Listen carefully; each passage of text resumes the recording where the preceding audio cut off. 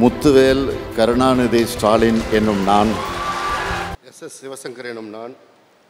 சட்டப்படி அமைக்கப்பெற்ற இந்திய அரசியமைப்பின்பால் உண்மையான நம்பிக்கையும் மாறா பற்றும் கொண்டிருப்பேன் என்றும் இந்திய நாட்டின் ஒப்பில்லாத முழுமுதல் ஆட்சியையும் ஒருமையையும் நிலைநிறுத்துவேன் என்றும் தமிழ்நாட்டு அரசின் அமைச்சராக உண்மையாகவும் உளச்சான்றினுடையும் என் கடமைகளை நிறைவேற்றுவேன் என்றும் அரசியலமைப்பிற்கும் சட்டத்திற்கும் இணங்க அச்சமும் ஒருதலை சார்பும் இன்றி விருப்பு வெறுப்பை விலக்கி பலதரப்பட்ட மக்கள் அனைவருக்கும் நேர்மையானதை செய்வேன் என்றும் உளமாற உறுதிமொழிகிறேன்.